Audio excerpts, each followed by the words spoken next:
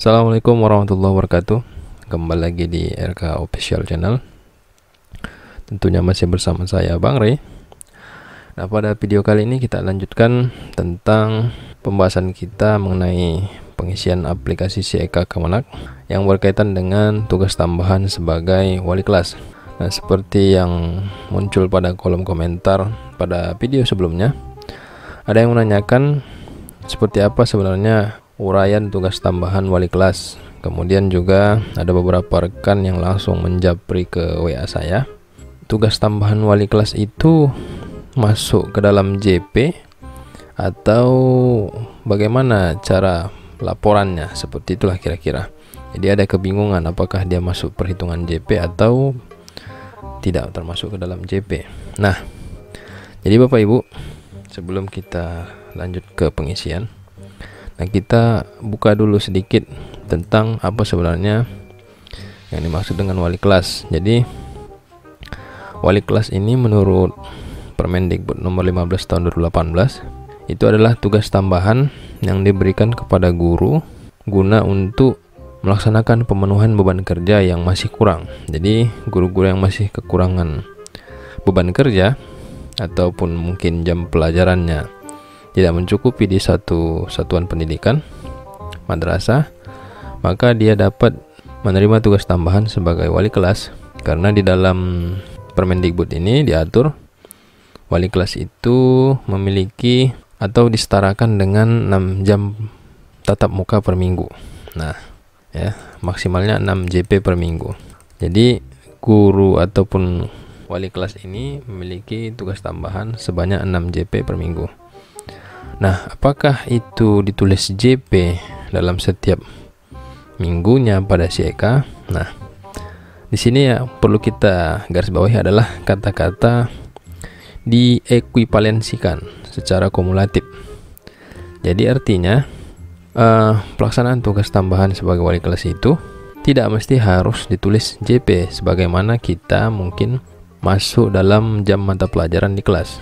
Misalnya kalau guru bahasa Indonesia 24 JP per minggu. Kan gitu.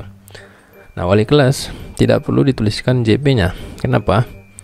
Karena sebanyak apa pun tugas yang diemban oleh wali kelas itu yang diberikan oleh kepala madrasah maka dia akan disetarakan dengan 6 JP nah jadi tidak bisa kita uraikan secara rinci ataupun terjadwal seperti roster mata pelajaran apa-apa saja yang menjadi tugas dari wali kelas.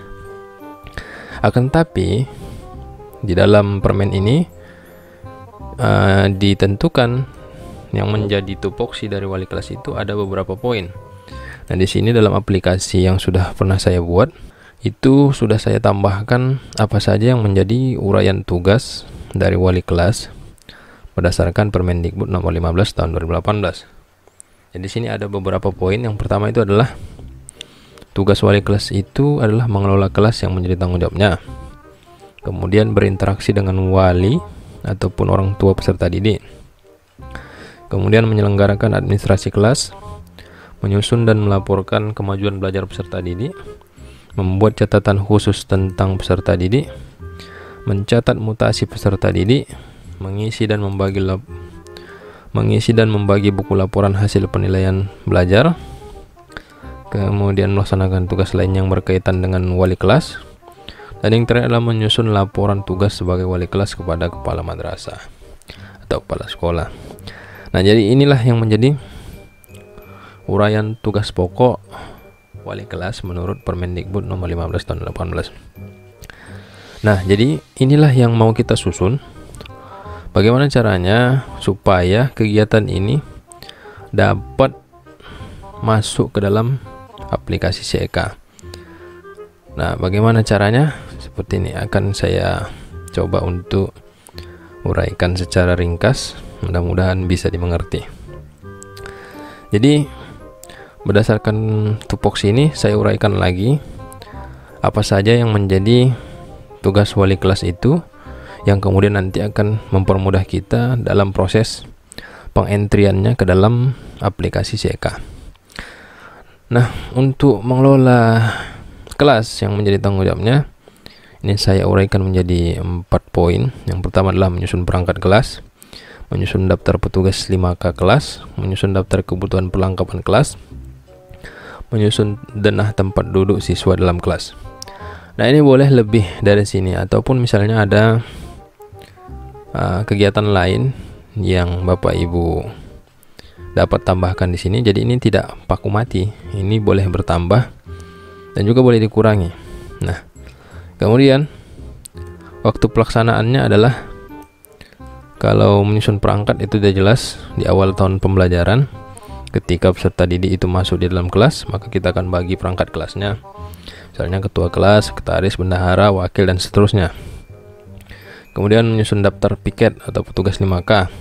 Ini mungkin kita susun di setiap awal semester. Daftar kebutuhan perlengkapan juga di awal semester dan denah tempat duduk mungkin juga di awal semester jika dibutuhkan. Jika tidak, uh, mungkin hanya awal tahun pelajaran saja. Nah, selanjutnya untuk uraian tugas yang kedua berinteraksi dengan orang tua atau wali peserta didik. Ini kita buat untuk entry kegiatan pada harian siaganya adalah melakukan kunjungan atau home visit atau visit home atau cemana lah dia bahasanya ke rumah peserta didik. Nah ini sifatnya waktu pelaksanaannya adalah kondisional artinya jikalau memang dalam satu bulan itu dibutuhkan kunjungan maka kita bisa membuat ini di dalam kegiatan hariannya. Kemudian yang selanjutnya adalah menyelenggarakan administrasi kelas. Nah ini saya buat Nah ini saya buat uraian tugasnya adalah memeriksa buku absensi kelas, kemudian memeriksa buku jurnal kelas. Boleh juga ditambahkan atau boleh juga tidak dicantumkan. Jadi tergantung kepada Bapak Ibu sesuai dengan kebutuhannya. Dan kalau dicantumkan, maka waktu pelaksanaannya kita buat rutin setiap minggu dalam setiap bulan. Jadi setiap minggu per bulan berarti ada empat minggu. Ataupun lima minggu dalam satu bulan maka setiap minggunya itu wajib ada. Kita cantumkan dalam kegiatan hariannya. Kemudian menyusun laporan kemajuan belajar peserta didik. Uraian kegiatannya pada CEK kita buat mengentry nilai harian peserta didik ke dalam DKN mengentry nilai hasil ujian semester ke dalam DKN membuat catatan tentang prestasi peserta didik pada bulan tertentu misalnya pada bulan Juli, Agustus dan seterusnya nah waktu pelaksanaannya bisa dilihat di sini. Yang pertama itu mengentry nilai harian itu kita buat kondisional karena ini tidak bisa dipastikan kapan waktu pelaksanaannya tergantung dari kebutuhan Bapak Ibu sekalian. Kemudian mengentry nilai hasil ujian semester ini dapat dilaksanakan pada bulan Desember, Maret dan Juni. Jadi pada setiap akhir semester. Nah, mungkin di sini ada pertanyaan kenapa Maret masuk? Karena kebetulan saya mengajar di MA maka otomatis di bulan Maret itu ada kegiatan untuk mengentry nilai hasil ujian semester kelas 12 ke dalam DKN. Kemudian mencatat tentang prestasi peserta didik per bulan. Ini juga kondisional, tergantung sesuai kebutuhannya. Kemudian yang selanjutnya adalah membuat catatan khusus tentang peserta didik. Nah, ini uraian kegiatan harian pada CEK Bapak Ibu dapat membuat narasinya yaitu membuat catatan tentang masalah kedisiplinan peserta didik per bulan. Misalnya masalah kedisiplinan peserta didik bulan Juni, Juli, Agustus dan seterusnya. Nah, ini kita buat rutin per bulan artinya setiap bulan itu pasti ada catatan tentang masalah kedisiplinan. Kemudian mencatat mutasi peserta didik. Nah, ini untuk uraiannya adalah membuat laporan mutasi peserta didik di kelas pada bulan nah, setiap bulannya. Jadi ini laporan ini dapat Bapak Ibu terima, wali kelas terima dari WKM kesiswaan ataupun dari bagian tata usaha untuk melihat apakah ada siswa yang pindah atau tidak dalam setiap bulannya. Jadi berkoordinasi dengan kedua unsur tersebut. Kemudian apakah itu rutin dibuat setiap bulan? Rutin tetap karena dalam setiap bulan itu pasti ada grafik pertambahan dan pengurangan peserta didik di setiap sekolah. Jadi ini memang wajib dilaporkan. Kalau memang tidak ada, ya tetap dibuat juga walaupun dia nihil uh, laporannya. Kemudian mengisi dan membagi buku laporan penilaian hasil belajar. Nah, ini uraian kegiatan harian pada CK-nya adalah mengentry nilai semester ke dalam ARD atau RDM, menyusun laporan nilai semester, membagikan laporan hasil belajar atau raport. Nah, ini di akhir semester semua kegiatannya, waktu pelaksanaannya. Kemudian melaksanakan tugas lain yang berkaitan dengan kewali kelasan. Misalnya, membantu petugas perpustakaan membagi buku kepada siswa di kelas. Ini awal semester ataupun sifatnya kondisional tergantung dari kondisi sekolah. Dan yang terakhir adalah menyusun laporan tugas sebagai wali kelas kepada kepala sekolah atau madrasah. Uraian di CEK-nya menyusun laporan tugas sebagai wali kelas pada bulan tertentu. Pada bulan tertentu, tapi ini rutin setiap bulan wajib kita laporkan. Nah, kemudian target pencapaiannya bagaimana nah jadi nanti pada saat pengisian CEK di situ kan kalau kita biasa membuat pada saat pelaksanaan pembelajaran targetnya itu ada 2 JP misalnya kan kemudian 3 JP dan seterusnya tapi kalau di wali kelas ini maka laporan wali kelas itu karena dia tadi di ekuivalensikan disetarakan dengan 6 JP per minggunya maka Bapak Ibu wali kelas boleh membuat hanya dalam satu laporan saja dalam setiap akhir bulan.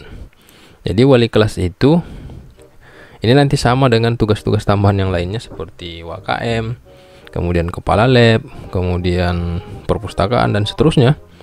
Itu mereka atau kita yang terlibat dalamnya hanya membuat satu laporan dalam setiap bulan.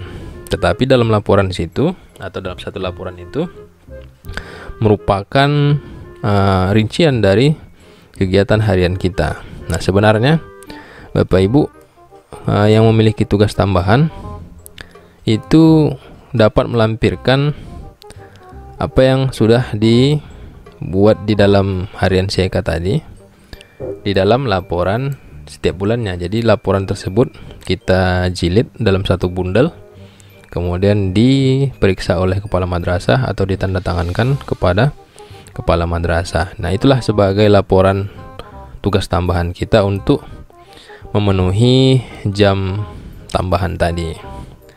Nah, bagaimana cara menginputan ke CEK? Mari kita lihat bersama. Nah, jadi Bapak Ibu silahkan login dulu ke CEK-nya. Setelah login masuk ke beranda, kita akan masuk kepada kegiatan tahunan. Nah, di kegiatan tahunan di sini kita lihat pada si Eka itu kita buat di dalam kegiatan tahunan itu adalah melaksanakan tugas lain yang relevan dengan fungsi madrasah. Ini sesuai dengan uraian tupoksi yang ada pada narasi laporan Eka yang sudah pernah saya buat. Ya, di sini pada poin ke pada poin kedua ini ya. melaksanakan tugas lain yang relevan dengan fungsi madrasah jadi ada menjadi wakil kepala madrasah wali kelas menjadi pengawas penilaian evaluasi pembina asrama pembimbing kegiatan ekstrakurikuler dan seterusnya itu merupakan tugas tugas lain yang relevan dengan fungsi madrasah untuk memenuhi uh, apa namanya sasaran kinerja pegawai kita. Nah, selanjutnya langsung saja. Kita klik di kita buat dulu bagi yang belum membuat silahkan buat dulu. Bagaimana caranya? Silahkan tambah. Nanti tambah Bapak Ibu ya kan? Tahun kegiatannya buat 2021 kemudian target kuantitasnya berapa kita buat ada karena dia wali kelas mungkin ya. Dalam satu tahun kan hanya ada 12 bulan berarti 12 laporan lah kalau begitu kita buat. Nah 12 laporan. Kita cari laporan. Nah, laporan. Mana laporan laporan laporan? Laporan oke ini laporan. Ya. Target penyelesaian 12 bulan. Nah deskripsinya apa? Tinggal kopikan saja. Mana dia? Ini copy. Kemudian paste. Kok nggak nampak? Ya di atas. Ya melaksanakan tugas lain yang relevan dengan fungsi madrasah. Kemudian save. Nah setelah di save dia akan muncul seperti ini oke. Nah ini 13 laporan ini ada saya buat karena melaksanakan tugas fungsi madrasahnya. Itu nanti ada 13 satu adalah melaksanakan tugas sebagai pengawas ujian. Nah selanjutnya setelah ini terbuat eh, terbuat. Setelah ini dibuat menjadi kegiatan tahunan kita breakdown. Nah kita breakdown. Kebetulan saya sudah buat breakdown sini tugas pokok saya nah untuk Oktober misalnya kita buat tambahannya tadi adalah melaksanakan tinggal copy paste aja. Nah, wali kelas melaksanakan ini breakdown bulanan melaksanakan tugas sebagai wali kelas. Copy pada kelas apa? Misalnya kelas 12 MIPA 1 berapa laporan? Satu laporan. Save oke udah masuk Oktober. Nah kita lihat kegiatan bulanannya untuk Oktober misalnya. Oktober. Nah ini. Melaksanakan tugas ya. Nah jadi ini sudah ada. Kemudian kita lanjut ke kegiatan harian. Kegiatan harian. Nah kegiatan harian masih kosong jadi Bapak Ibu kita sesuaikan apa yang menjadi kegiatan kita di bulan Oktober. Misalnya kalau kita ini kan sudah di pertengahan jalan berarti yang ini tidak masuk lagi yang di awal. Maka kita masukkan ke sini misalnya. Oke nah kita cek di CK tambah. Misalnya tanggal 1 Oktober hari Jumat melaksanakan tugas relevan fungsi madrasah menjadi wali kelas. Nah nah di sini dia kuncinya. Kalau di JP itu langsung kita isi kemari. Kan gitu. Tetapi karena ini dia hanya satu laporan dalam satu bulan maka kita buat progres kegiatan bertahap. Kenapa disebut kegiatan bertahap? Karena kegiatan wali kelas itu berlanjut selama satu bulan. Jadi kita buat progresnya misalnya yang pertama memeriksa buku absen kelas ya kan inilah yang kita masukkan ke dalam CK Cum. Nah, memeriksa buku absen kelas 12 MIPA 1. Dah. Dah. Memeriksa buku absen kelas MIPA 1. Setelah ini bagaimana? Langsung submit. Ya, submit. Selesai. Nah. Kemudian 0. Nah, jadi di sini dia kuantitasnya itu 0 laporan jadi Bapak Ibu tidak perlu takut loh ini laporannya kok nggak muncul kan seperti itu jadi ini masih bertahap jadi dalam kegiatan kita bulan ini masih dalam proses untuk wali kelas apakah itu menjadi masalah ini tidak jadi masalah Bapak Ibu karena laporan kita itu nanti akan terlihat di akhir nanti akan terlihat bagaimana progresnya kemudian kita lanjutkan kegiatan yang kedua misalnya memeriksa buku jurnal kelas Nah, memeriksa buku jurnal kelas. Bapak Ibu lakukan misalnya di setiap hari Sabtu. Tanggal 2 berarti. Laksanakan tugas lain. Oktober. Tetap bertahap. Pasti memeriksa buku jurnal kelas 12 MIPA 1. Ya. Nah, boleh ditambahkan embel-embel yang lain boleh silahkan mau dibuat panjang-panjang juga tambahannya juga silahkan karena saya tidak jago mengarang maka saya buat yang simple seperti ini saja oke okay, submit good job katanya nah selanjutnya udah muncul dua. Apalagi yang rutin? Hmm, misalnya uh, ini dia membuat catatan tentang masalah kedisiplinan. Ini rutin tapi di akhir bulan. Ya ini rutin di akhir bulan. Ini juga rutin di akhir bulan. Nanti akan kita masukkan. Kita masukkan yang di pertengahan-pertengahan dulu. Misalnya bapak ibu uh, mengentry nilai harian. Nah ini kita buat masuk di misalnya Oktober. Ini tadi tanggal 2 tanggal 5 boleh. Ya karena wali kelas itu tidak tidak apa namanya tidak seperti jam pelajaran. Ada jadwal tetapnya. Jadi dia jadwalnya itu bebas dalam setiap minggu jadwalnya bebas hanya saja mungkin ada beberapa kegiatan yang rutin kita laksanakan pada hari-hari tertentu. Kemudian submit. Oke nah nol laporan. Kemudian apalagi yang mau kita masukkan? Uh, membantu petugas misalnya membagikan buku. Kebetulan ada penambahan buku di bulan Oktober oleh kepala madrasah misalnya kan uh, di tanggal tanggalnya lupa tadi penambahan bukunya di tanggal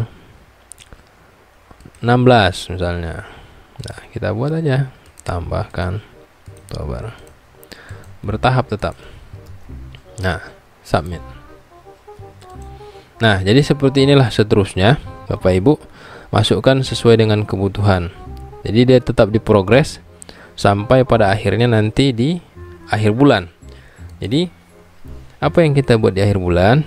Yang di akhir bulan itu adalah ini menyusun laporan tugas sebagai wali kelas. Nah, jadi di akhir bulan itu kita masukkanlah tanggal berapa dia Sabtu ya kan Sabtu 30 Oktober melaksanakan tugas lain.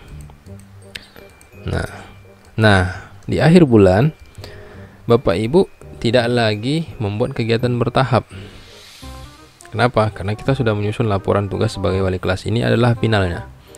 Nah, targetnya apa? Satu laporan. Submit.